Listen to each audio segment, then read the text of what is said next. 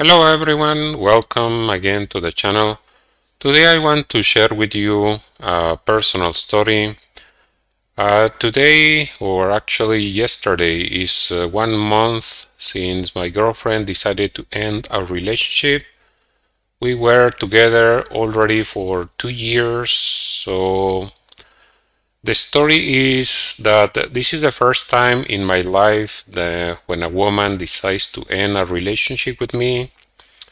And it is really, for me, it has been very, very different. Uh, let's say when I end the relationship, even if, of course, we had a good relationship with a woman, I somehow um, feel less uh, less sad than this time. So this time has been different.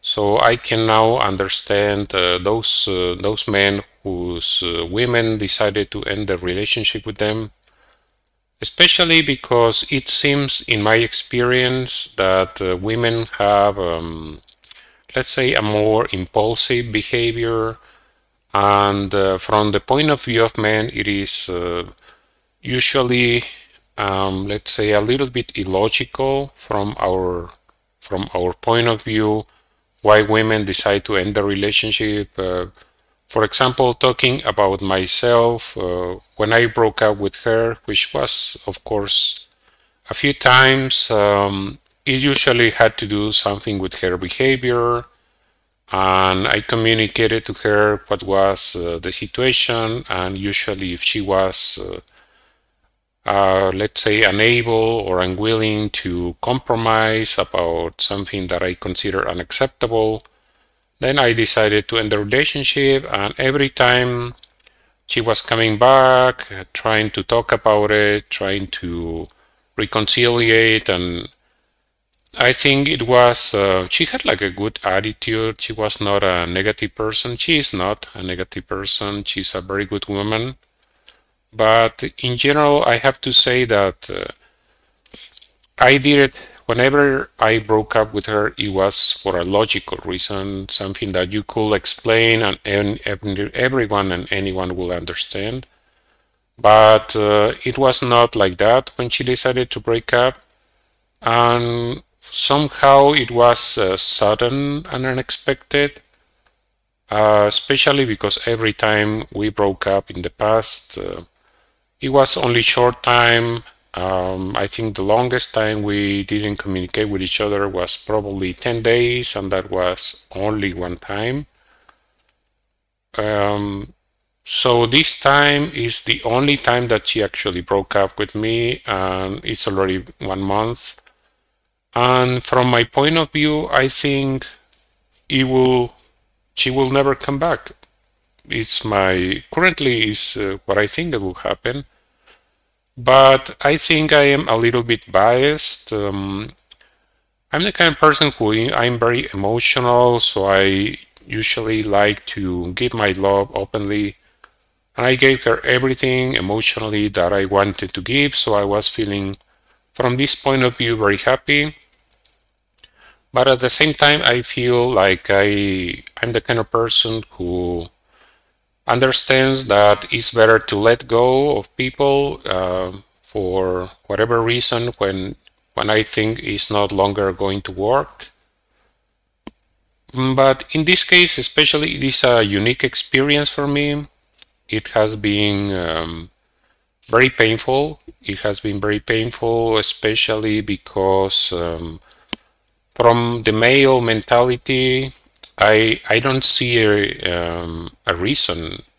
Uh, there is no explanation. There is no logical explanation about uh, why she decided to break up with me. It was not not something about my behavior.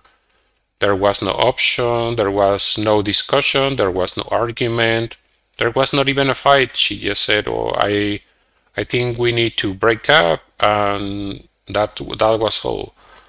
So this uh, created all kinds of uh, psychological noise inside my head because I knew I didn't do anything wrong, if that makes any sense. I knew I didn't cheat on her or anything like that. But uh, let's say the breakup itself was kind of clean. I just asked her what was the reason for the breakup, what was uh, her justification or something, and she explained it to me, but um, I didn't consider like a good reason. But also when she started to try to go around it and try to uh, explain it by saying, oh, just because I want to, kind of thing.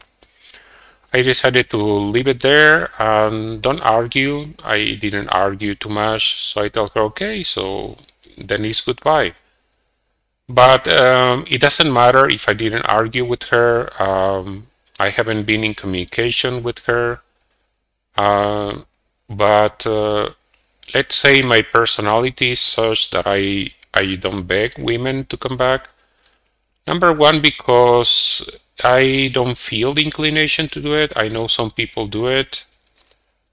So I don't judge anyone. I'm just talking about, let's say, my style, uh, relationship-wise.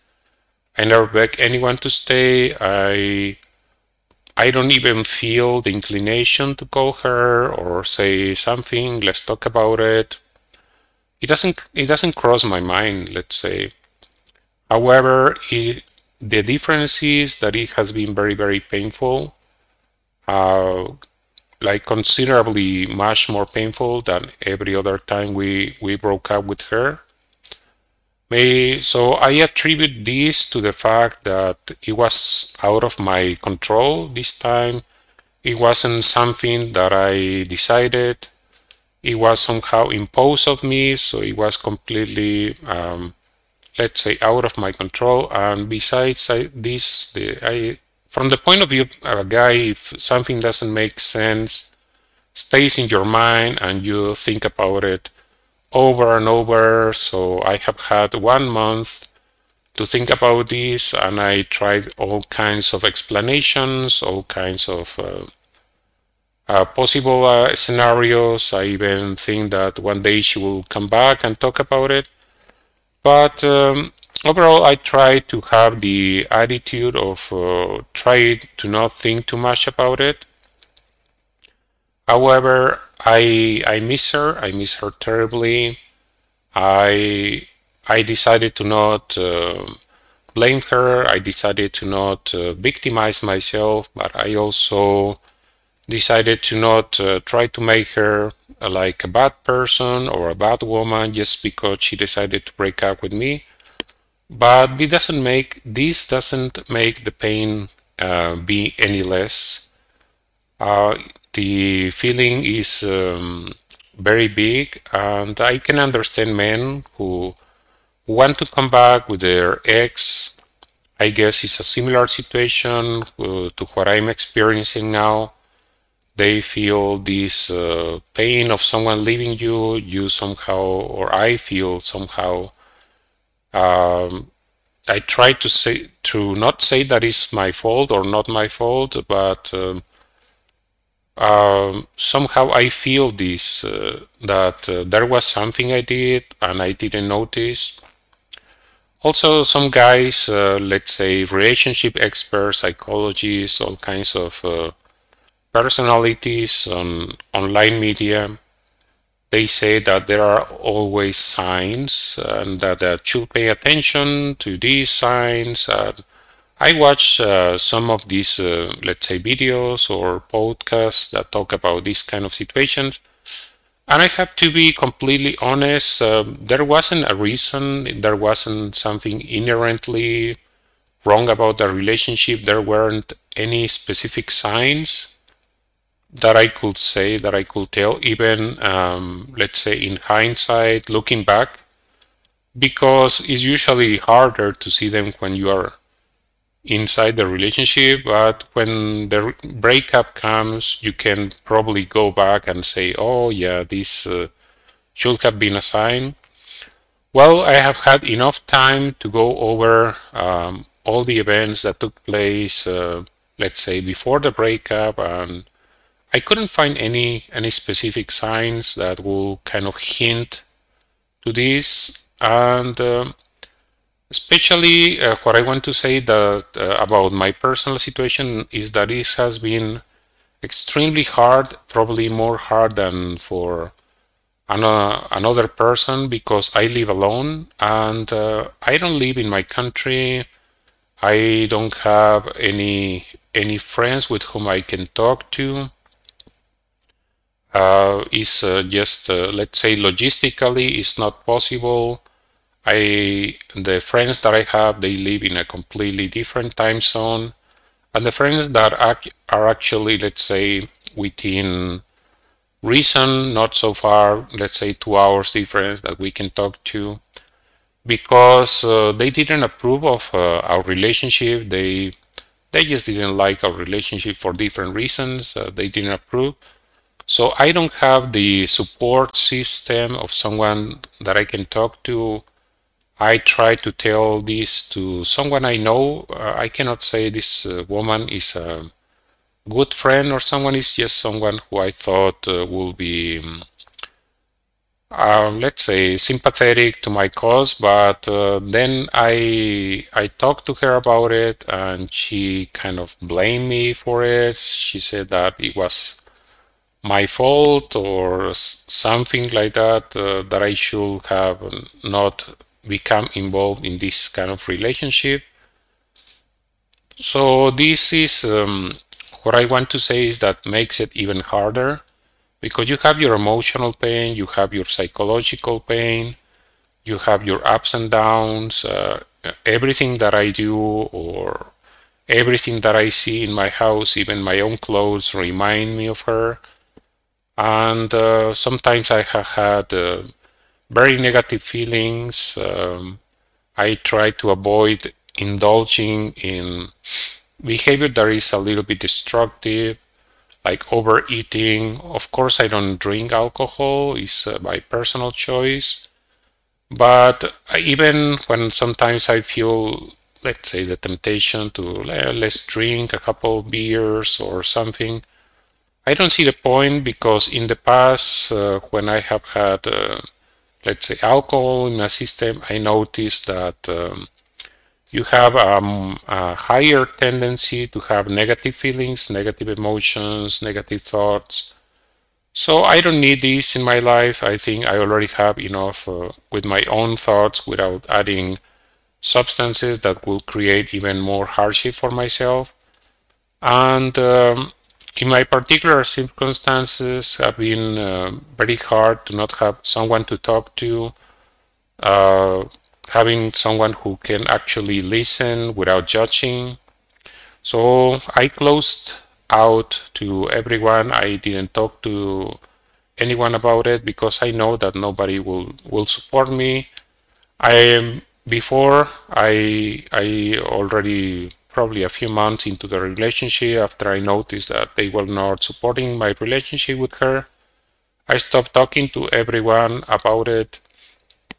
So I know that they will judge me or they will judge her. They will say, I told you so. And for those of you who don't know, hearing from someone that you care about, hearing from someone that you think you respect, that they are your friend, hearing that they say, oh, I told you, you should have known, I was, uh, I knew this was going to happen. It, it never help. It never helps. Is uh, the worst thing you can say to someone who is in pain telling him or her, I told you so, and you see what happened now, you're you are heartbroken or something, it doesn't help. It doesn't help at all. And um, what is the solution for this uh, from my own experience? Um, I have some psychological training uh, called Gnosis. Uh, so we have this uh, Gnostic psychology that I studied for quite a long time. I was a teacher for also for long time, probably more than 10 years. And after after my divorce, I stopped uh, I stopped teaching, but um, let's say one of the good things that came after my breakup with my girlfriend is that I decided to start teaching again because I thought uh, it would be helpful for someone for more than just one person. So this has been helpful for me and this is called, this process is called uh, ego elimination and basically it will help you to um, eliminate the pain that you have, emotional pain, uh, psychological pain, that sometimes can even translate into physical pain, like disease or something. For example, when I got divorced, uh, I even got sick. I had a virus uh, that was in my system, and it was somehow involuntary, of course. It was um, subconscious, my subconscious creating these circumstances, the a lot of stress, a lot of uh, emotional pain. So after the breakout with my girlfriend, um, I decided to work on this and get out of this alone because number one, no one else was going to help me, no one wanted to listen to, and of course I didn't want to have the on top of that, I didn't want to have the negative experience of telling someone about my painful experience and they telling me, oh, I told you so. So that's why I decided to work on this and it has helped tremendously. I have uh, continued to work because of course this is a process, it's not something that you just uh, flip a switch and will stop happening but it's very it's very powerful and it's very effective. And I already published an episode um, about this uh, before in one of the uh, episodes that I talk about the Gnosis course. But uh, in the future I will make uh, more episodes talking about this because I think it is important a lot of people experiences uh, negative negative uh, situations in their lives. So I will make a few episodes to talk about this to help people. And I hope there will be enough interest. Um, and that's all I wanted to say for now. I want to remind you about the opportunity to, to help me support my work as content creator. In every episode, I include information about different platforms you can use to support me with donations if you want to. And you can also support my work uh, by liking, sharing this episode in social media, and subscribing. I hope to see you again very soon. Thank you for watching.